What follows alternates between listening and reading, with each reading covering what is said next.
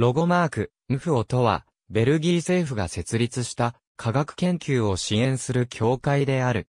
フランス語名は FNRS。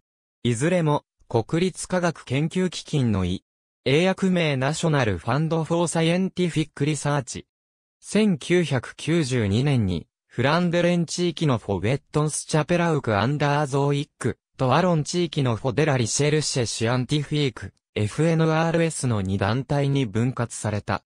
フェと FNRS の役目は、自然科学の全分野における新知識を発達を促進することである。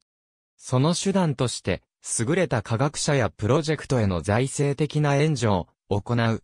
援助の基準は、分野を問わず、科学者やプロジェクトの研究の質で決められる。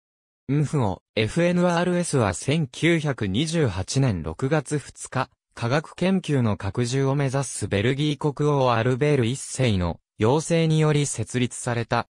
当初はエミール・フランキが指揮を取った。この協会はベルギー発の科学研究基金であった。その初期の活動としては、スイスの物理学者、オーギュスト・ピカールへの資金援助が挙げられる。ピカールの有人清掃圏探査気球 FNRS-1 号は到達高度の世界記録を樹立した。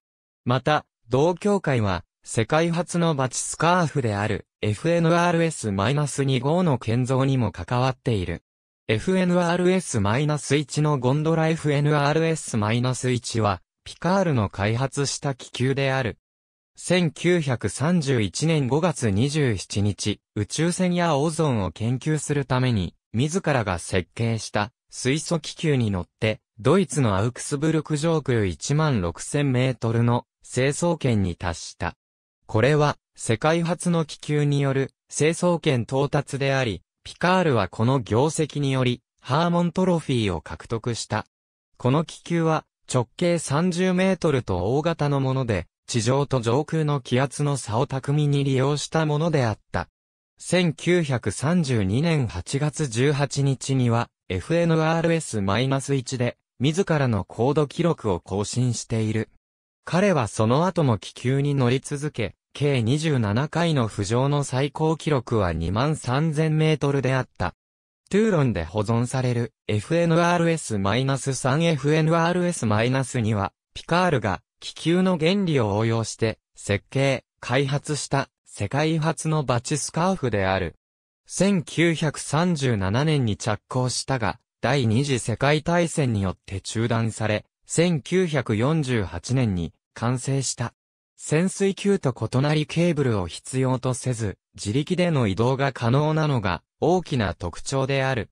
FNRS-2 は1948年11月の試験選考で事故を起こし、FNRS の資金難もあって1950年にフランス海軍に売却され、改造されて FNRS-3 となった。ありがとうございます。